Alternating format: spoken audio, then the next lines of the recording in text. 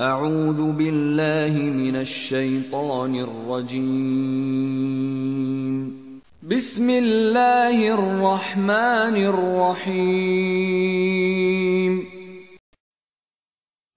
Dan Ismail, Ilyasa, Yunus, dan Lut, masing-masing kami lebihkan derajatnya di atas umat lain pada masanya. Dan kami juga telah mengutus Lut ketika dia berkata kepada kaumnya, Mengapa kamu melakukan perbuatan keji yang belum pernah dilakukan oleh seorang pun sebelum kamu di dunia ini? Sungguh, kamu telah melampiaskan syahwatmu kepada sesama lelaki, bukan kepada perempuan. Kamu benar-benar kaum yang melampaui batas. Dan jawaban kaumnya tidak lain hanya berkata, Usirlah mereka, Lut dan pengikutnya dari negerimu ini. Mereka adalah orang yang menganggap dirinya suci. Kemudian kami selamatkan dia dan pengikutnya, kecuali istrinya. Dia, istrinya, termasuk orang-orang yang tertinggal. Dan kami hujani mereka dengan hujan batu. Maka perhatikanlah bagaimana kesudahan orang yang berbuat dosa itu. Maka ketika dilihatnya tangan mereka tidak menjamahnya, dia Ibrahim mencurigai mereka dan merasa takut kepada mereka. Mereka malaikat berkata, "Jangan takut, sesungguhnya kami diutus kepada kaum Lut."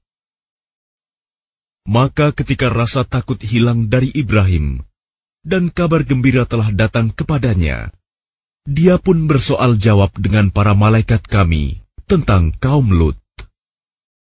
Dan ketika para utusan kami, para malaikat itu datang kepada Lut, dia merasa curiga dan dadanya merasa sempit karena kedatangannya. Dia Lut berkata, "Ini hari yang sangat sulit." Dan kaumnya segera datang kepadanya dan sejak dahulu mereka selalu melakukan perbuatan keji. Lut berkata, Wahai kaumku, inilah putri-putri negeriku, mereka lebih suci bagimu. Maka bertakwalah kepada Allah, dan janganlah kamu mencemarkan namaku terhadap tamuku ini. Tidak adakah di antaramu orang yang pandai? Mereka menjawab, Sesungguhnya engkau pasti tahu bahwa kami tidak mempunyai keinginan syahwat terhadap putri-putrimu. Dan engkau tentu mengetahui apa yang sebenarnya kami kehendaki. Dia Lut berkata, Sekiranya aku mempunyai kekuatan untuk menolakmu, atau aku dapat berlindung kepada Allah yang Maha Kuat, tentu aku lakukan. Mereka para malaikat berkata, Wahai Lut, sesungguhnya kami adalah para utusan Tuhanmu. Mereka tidak akan dapat mengganggu kamu. Sebab itu pergilah bersama keluargamu pada akhir malam, dan jangan ada seorang pun di antara kamu yang menoleh ke belakang, kecuali istrimu. Sesungguhnya dia juga akan ditimpa siksaan yang menimpa mereka. Sesungguhnya saat terjadinya siksaan bagi mereka itu pada waktu subuh, bukankah subuh itu sudah dekat? Maka ketika keputusan kami datang, kami menjungkir balikan negeri kaum Lut, dan kami hujani mereka bertubi-tubi dengan batu dari tanah yang terbakar. Yang diberi tanda oleh Tuhanmu. Dan siksaan itu tiadalah jauh dari orang yang zalim. Dan wahai kaumku, janganlah pertentangan antara aku dengan kamu menyebabkan kamu berbuat dosa, sehingga kamu ditimpa siksaan seperti yang menimpa kaum Nuh, kaum Hud, atau kaum Saleh. Sedang kaum Lut tidak jauh dari kamu. Kecuali para pengikut Lut, sesungguhnya kami pasti menyelamatkan mereka semuanya. Kecuali istrinya. kami telah menentukan bahwa dia termasuk orang yang tertinggal bersama orang kafir lainnya. Maka ketika utusan itu datang kepada para pengikut Lut, ya Lut berkata, Sesungguhnya kamu orang yang tidak kami kenal. Para utusan menjawab, Sebenarnya kami ini datang kepadamu, membawa azab yang selalu mereka dustakan. Dan kami datang kepadamu, membawa kebenaran, dan sungguh, kami orang yang benar. Maka pergilah kamu pada akhir malam, beserta keluargamu, dan ikutilah mereka dari belakang.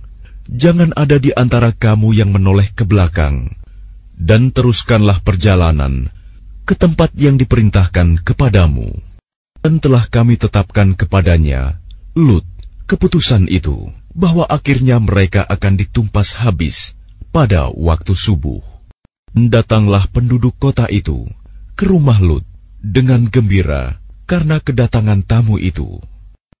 Dia Lut berkata, Sesungguhnya mereka adalah tamuku, maka jangan kamu mempermalukan aku.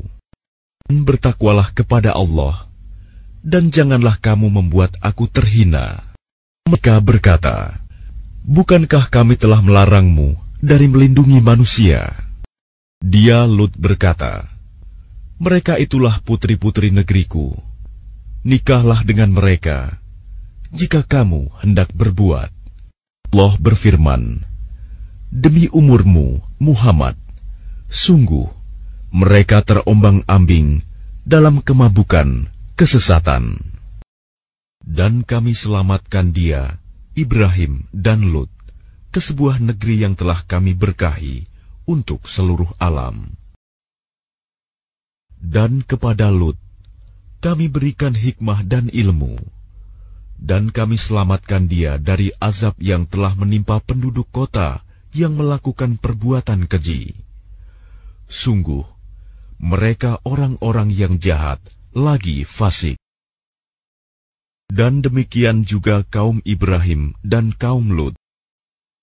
Dan ingatlah ketika Lut berkata kepada kaumnya, kamu benar-benar melakukan perbuatan yang sangat keji, homoseksual, yang belum pernah dilakukan oleh seorang pun dari umat-umat sebelum kamu. Ibrahim berkata, Sesungguhnya di kota itu ada Lut. Mereka para malaikat berkata, Kami lebih mengetahui siapa yang ada di kota itu. Kami pasti akan menyelamatkan dia dan pengikut-pengikutnya kecuali istrinya. Dia termasuk orang-orang yang tertinggal, dibinasakan.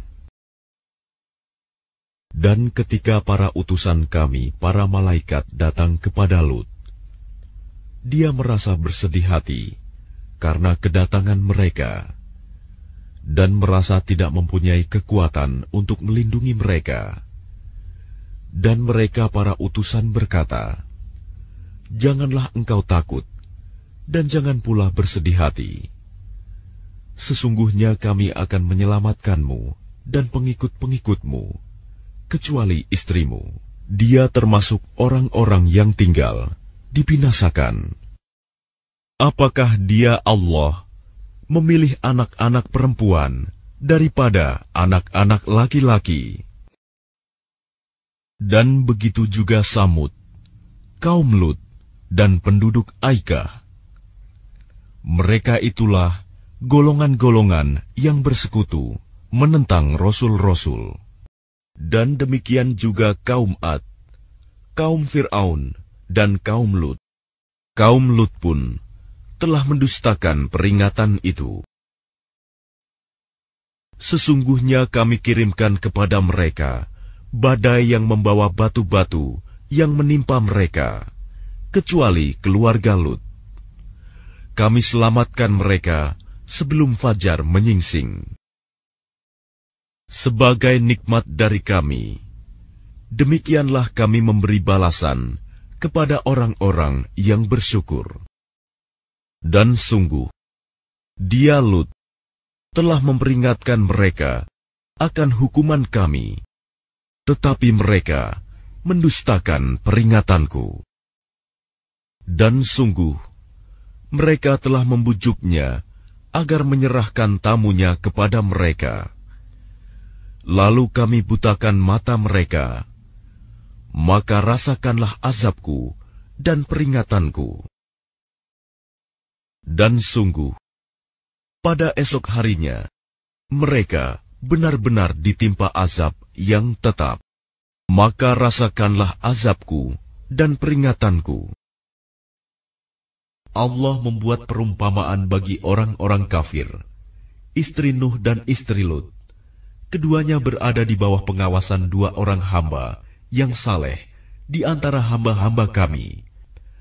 Lalu kedua istri itu berkhianat kepada kedua suaminya, tetapi kedua suaminya itu tidak dapat membantu mereka sedikitpun dari siksa Allah.